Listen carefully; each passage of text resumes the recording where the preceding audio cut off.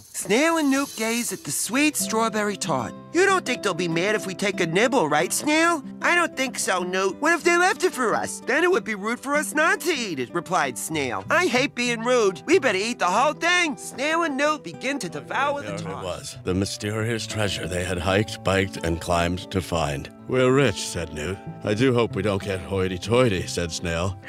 Yes, hoity or toity, but not both, said Newt.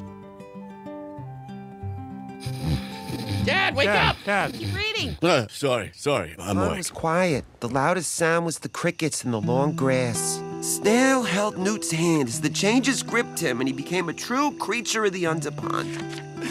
Newt, Newt, I would give anything to go with you. If only I could. I'm sorry, Bob. You take it. If only I could. And when Newt couldn't stay in the open air for another moment, he let go of Snail and slipped under the surface of the pond. Goodbye, Newt. God, it got me too.